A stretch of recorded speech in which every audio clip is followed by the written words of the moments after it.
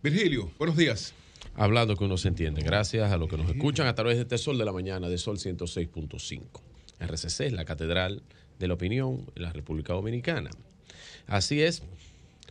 Eh, eso que dice el director de aduana, pues corresponde a una administración correcta de la dirección general y a los sistemas modernos que se han implementado durante la gestión del director Eduardo San Lobatón, empezando primero con la puesta de rayos X y los sistemas de inspección que están eh, siendo implementados en la Dirección General de Aduanas y con el motor de riesgo, con los sistemas de cálculo eh, para poder calcular el riesgo de la carga y perfilarla, entre otras cosas, como también el despacho en 24 horas, que ha sido una revolución en esa, en esa área, en esa materia. Así que eso es eficiencia en, en la gestión, principalmente en esto que es la gestión para todos, la gestión pública.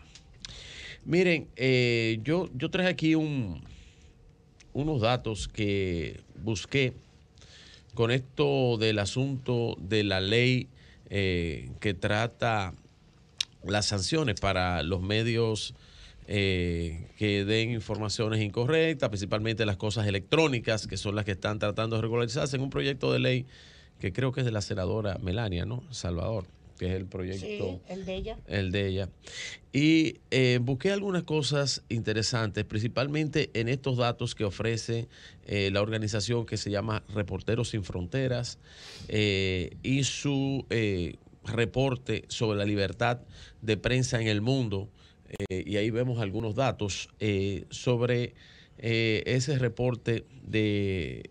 En el reporte lo busqué desde reportes a, 10, 12 años.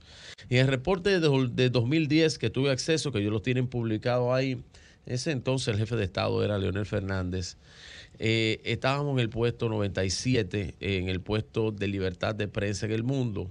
En el reporte actual estamos en el puesto número 30, eh, eso es a fecha del 2022, donde eh, esa organización dice eh, y alaba las, los avances que ha tenido eh, la prensa y la libertad de prensa en estos 12 años de ejercicio democrático en la República Dominicana. Yo creo, y esto lo hago como un introito a mi comentario, yo creo que en República Dominicana la libertad de prensa no está ni estará en juego. Creo que hay, y eso es lo que nos permite a nosotros que estamos en estos medios, el ejercicio de poder expresar nuestras ideas, principalmente a nosotros que somos hacedores de opinión, que no obstante no, no tomamos las noticias, sino que las maticamos, las comemos, las digerimos y luego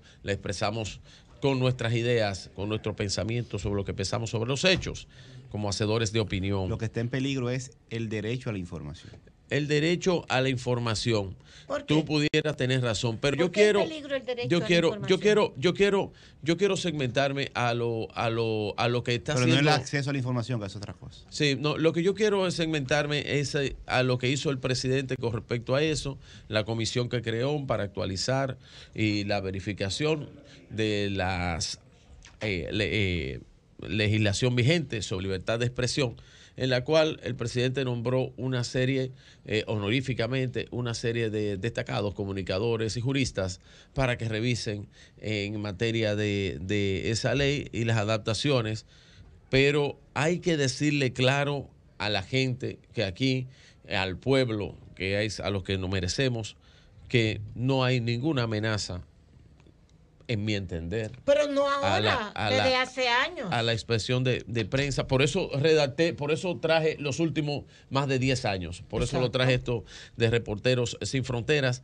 Y esto yo sé que en la administración eh, actual el presidente esto eh, le va a prestar bastante atención. Sí yo creo que hay que regularizar eh, lo que se haga a través de los medios electrónicos porque el fake news es algo muy delicado y es algo que puede eh, moldear. Pero ese es el proyecto del gobierno.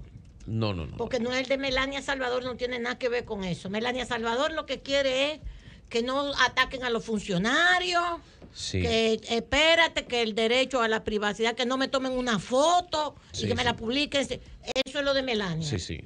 Pero está descartada para Banco y Pero por eso es que la del presidente, o sea, la del gobierno, es, la de la de la revisión eh, y evaluación de la legislación vigente de la libertad de expresión. Pero todo esto lo están mezclando en un sancocho. Sí, lo están mezclando en un sancocho. Y están tratando de confundir a la gente. Por eso es que estoy aclarando esto, de que la libertad, y aparte de todo, tenemos que, tenemos que, lo que tenemos esta responsabilidad, decirle al mundo que no estamos amenazados con eso, porque estas noticias no quedan en manos solamente de los dominicanos, quedan en manos de medios de comunicación internacionales que los ven, que los leen a través de las redes sociales, que lo leen a través de Google, que lo leen a través de todos estos medios. Esto, esto es una aldea global. Como bien decía en algún momento Marshall McLuhan con su eh, terminología, la aldea global. Y nos leen y pueden haber, puede tener algún entendido que el gobierno o eh, el Estado está propiciando algún tipo de, de mire, Mire, mi camarada, si usted me lo permite, sí, eh, aprovechando quería hacer ese aclarando porque he estado investigando últimamente sobre eso y quería decirlo porque no quería dejarlo en el aire. Dígame. Si usted me lo permite, mi camarada, aprovecho ese buen comentario que usted está haciendo. Le digo porque como está es más compleja, los desafíos de la de la información y de la libertad de expresión ahora son diversos. ¿Por qué digo que está en peligro el, derecho a la información? La gente tiene derecho a informarse sobre lo que está pasando en su entorno y en el mundo, es un derecho. Pero ¿qué pasa? Con esta precarización de los medios periodísticos, que eh, hay una competencia muy grande, ya cada vez hay menos inversión en el periodismo como tal, no en el periodismo de opinión sino en el periodismo de la búsqueda, procesamiento y difusión de información de carácter periodístico. La noticia. Entonces, ahora hay una competencia en nuevos medios de comunicación que tienen gran impacto, pero que no son necesariamente hacen periodismo. Entonces, la competencia es por lo disruptivo, por lo que llame más la atención, no por informar. Entonces, en el desafío de este tiempo, además de la libertad de expresión, yo creo que esa comisión podría tomar en cuenta el tema del derecho a la información, cómo un Estado va a ayudar a garantizar con los actores privados que la gente tenga acceso a información periodística, veraz y con criterios profesionales. Es así. Por eso hablo que hay que regularizar de alguna forma los que con mala fe utilizan el fake news o la desinformación para lograr objetivos eh, de diferente índole. Nosotros los que somos periodistas. Sí. Eso es imposible porque tú por aquí metes lo que te dé tu maldita gana y los el fake Los fake news siempre han existido. pero, pero, ¿Cómo tú controlas eso? No, no, pero eh, sí hay que clasificar el fake news como, porque hay fake news que te pueden llevar a, a catástrofes. Está bien, lo que tú quieras.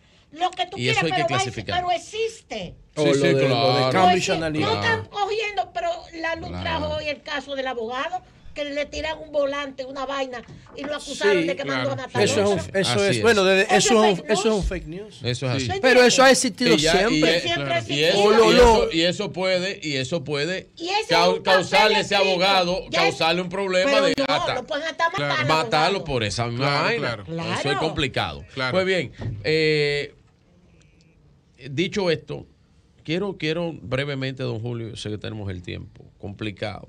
Esto de la Bloomberg Latinoamérica, eh, yo vivo leyendo Bloomberg porque me acostumbré a, ver algunas noticias, porque Bloomberg, como trata muchas noticias de índole económico y político eh, relacionadas, y estudié parte en Estados Unidos, siempre leo eh, Bloomberg, que es una, para mí, es la familia de Michael Bloomberg, es una de las familias más geniales que tiene eh, los Estados Unidos, aparte de todo, eh, eh, su organización ha trabajado mucho tiempo con, data inteligente y a mí me gusta ver mucho data inteligente. y cuando antes no había información, tú encontrabas en Bloomberg información en los reportes de Bloomberg. miren, y esto del presidente Luis Abinader, con, como que, con que el presidente Luis Abinader es el más rico de Latinoamérica, con unos 76 millones de dólares aparece el presidente.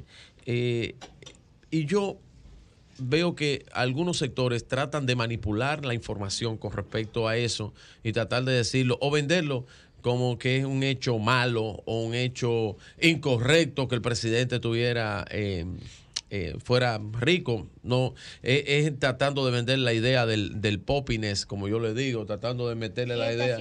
Eh, bueno, eso lo hacen sectores de la oposición que lo intentan meterle el ingrediente, el jabón con M al sancocho. Pero, pero la información no, no, nosotros no, nosotros no.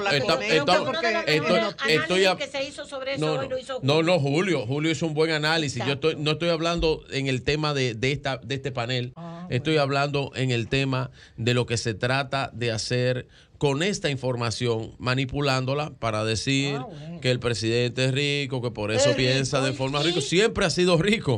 Nació rico, nació en cuna rica. Y don Julio hacía un aclarando esta, esta y yo creo que eso es bueno. Yo creo que eso es bueno y es sano.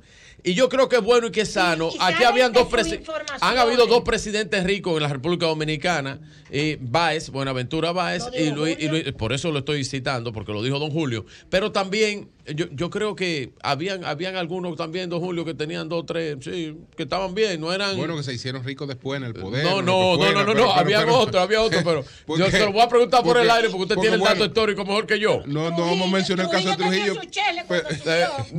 No, Trujillo, Trujillo. Claro, no había podido para vaca.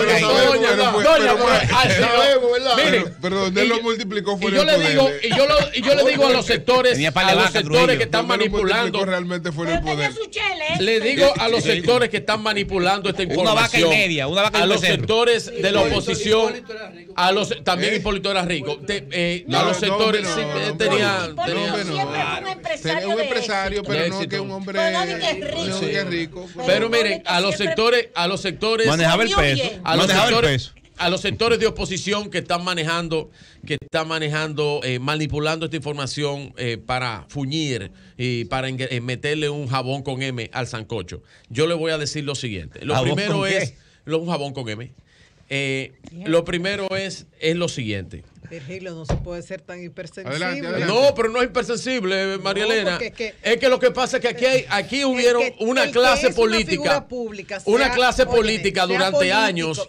durante años que se enriqueció desde el poder. Oye, sea político, un presidente. No, yo me voy a, yo me voy a donde tengo que irme. Un comunicador, o sea, tiene que, estar eh, preparado para recibir esas No, pero no es, no es recibirla, es manipularla. Porque una cosa es querer decir que se trabaja y se piensa y que por eso se llegó al poder porque es rico y otra cosa es que usted vaya al poder a enriquecerse y hacerse cuarto cuando aquí había una asociación política una asociación política de 30 personas que después se extendió que, tenía más cuarto que el CONEP en este país. Ahora, y que tiene más cuarto que el CONEP me parece, en este país. y que cuando tenía y que cuando llegaron al poder no tenía ni un solo peso.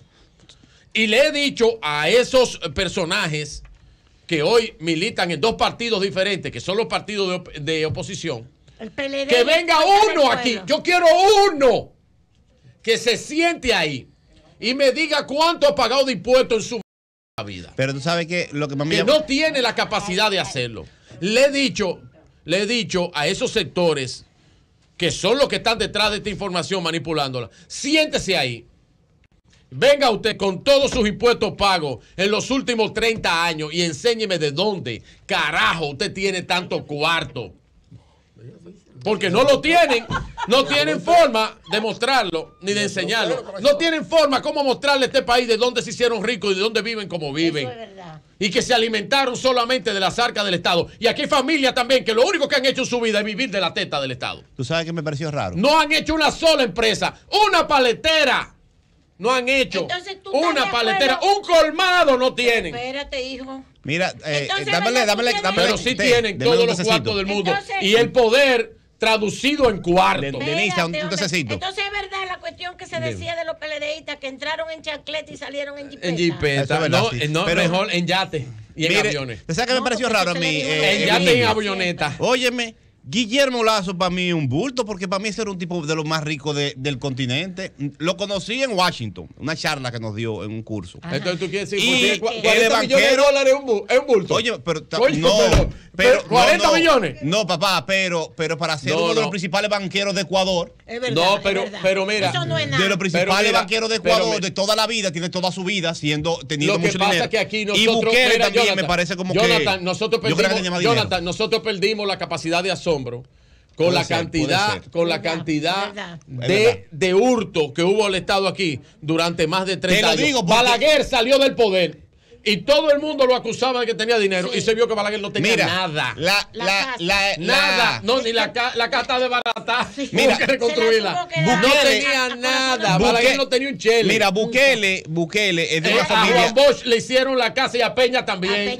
Vamos a hacer ese ejercicio. No tenían ni casa. Óyeme, Bukele es, es, de una familia ¿Eh? rica, millonaria. Los tres grandes Pero a Salvador Jorge Blanco lo metieron preso y murió en la pobreza. Pero, pero óyeme, óyeme, Bukele. Esa es la verdad. Pero óyeme. Pero aquí hay un grupo, óyeme, aquí hay un grupo político que maneja la oposición política de este país. Que el día que uno de ellos, de los que estuvieron ahí en la papa, ven y me diga aquí las empresas que tenía antes de entrar al gobierno y de dónde sacan todos esos cuartos que tienen y me cae en la boca, y se siente y me diga, mira los impuestos yo pagué. yo, era dueño de tal vaina. Mira, mira, mira, por qué me da risa. No tiene la capacidad de hacerlo. Óyeme lo que me llama la atención, no lo que más me llama la atención. Todo el mundo sabe que Bukele es parte de una familia de multimillonarios de El Salvador, de medios de comunicación, importadores y demás. Incluso fue alcalde y, maneja muchos recursos desde que nació. Lugar. Desde que nació. Es el, un eh, ostentoso de los medios de comunicación. el presidente Entonces, ¿qué pasa? Me llama la atención que un, un, presidente que es multimillonario desde niño, de su familia siempre ha tenido dinero, lo que presente un total de activos es, que yo no me lo creo, quizás debe ser un error, es que 2.548.977 pero dólares. Pero debe ser la fortuna de él. No, pero sí, pero la de él. Pero aquí, vamos a comparar para las declaraciones juradas de bienes de exfuncionarios. Ah, pero eso, hermano, eso, eso no se puede comparar, eso no se puede comparar aquí. Porque aquí nosotros perdimos la capacidad de asombro. Don Julio. うん。